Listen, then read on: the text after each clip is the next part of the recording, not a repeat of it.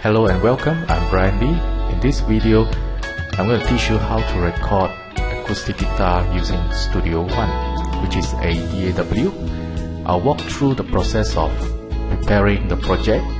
So in this, I have created the project, which is a song in Studio One. So by setting up the sample rate, which is 48 0.0 kilohertz and also the resolution which is 24 bit okay and the rest of the setting is based on the song or specific for example I have a tempo set to 80 beat per minute and also the length of the song is 4 minutes.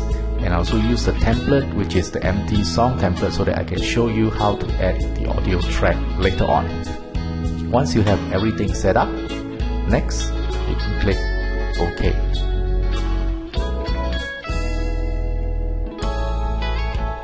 Once you're in the workspace, right, this is a Studio One workspace and you can add the audio track by clicking the plus sign or by right clicking at the blank space below it. When you right click, you shall see different types of audio tracks and also instrument track. So for this purpose, I will add an audio track, which is a mono audio track to record my guitar.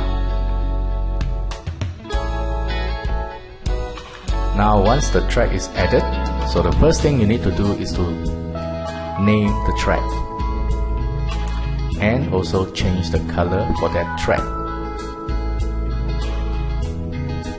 So I name my track as acoustic guitar.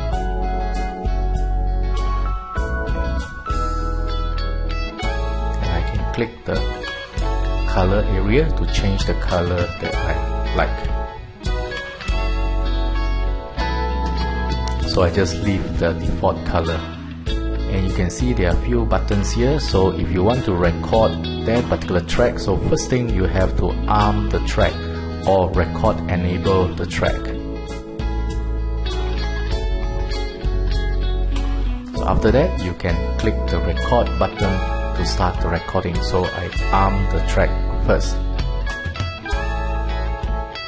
Now the next thing that you must make sure is that when you record you play according to the tempo by enabling the metronome. So you click to enable and click again to disable the metronome and by clicking the setting for the metronome by maybe changing the accent as well as having a pre-count.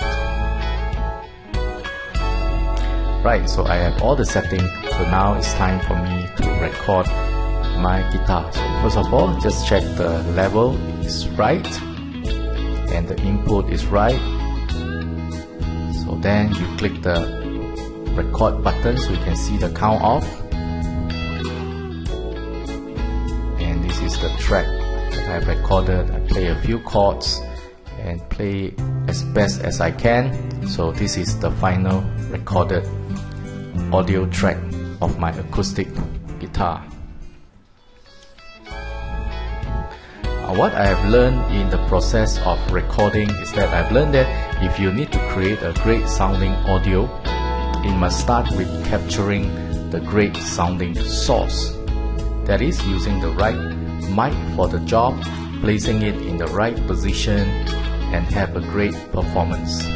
Although modern digital audio workstation come with advanced editing functionality to correct and to enhance the audio, as a recording engineer, I always strive to get it right at the source.